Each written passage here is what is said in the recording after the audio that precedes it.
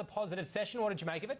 It was a pretty good session for the Australian share market, even though volumes were extremely light, but that was to be expected. We saw $2.4 billion worth of stock being traded, but of course Victoria was on holidays for the Melbourne Cup, and no doubt a lot of people were celebrating the Melbourne Cup, so not a lot of volume going through the market, but 2.4 billion still pretty good for a Tuesday where we did see a public holiday in Victoria.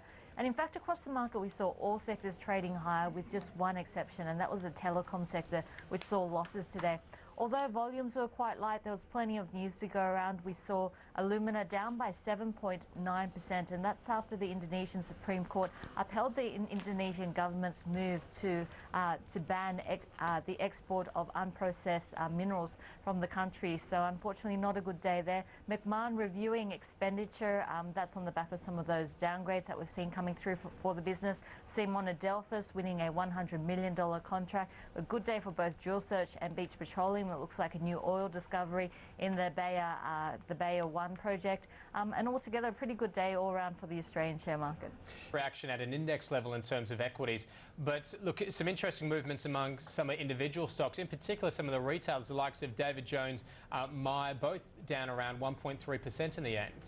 And I think we just saw a continuation of those losses we saw yesterday. Yesterday we saw retail sales numbers out for September and the number was better than expected with a rise of 0.5%. Before the third quarter it was department store sales which were the worst performing sector. We saw uh, a pretty strong uh, drop off in sales down by 3.6%. So I guess some concerns around that retail sector uh, as we go into that key Christmas period. But of course for the equity markets I think the difference is between market expectations and economists' expectations the markets have been pricing in around about a 50% chance of a rate cut, whereas economists, about three quarter of them had been pricing in a cut. So if we have a look at the reaction on the Aussie, uh, on the Aussie share market, this is actually this is actually the Australian share market, and if I just show you a graph, you can see we saw the rates decision and then we bounced all the way back up again. So not much of a reaction in the end for the Australian share market. However, a very different reaction in terms of the Aussie dollar, and you can see where that rate reaction uh, came through uh, above 104 at the moment. And of course, it's going to be a big night for currencies, and that's because we see the US election.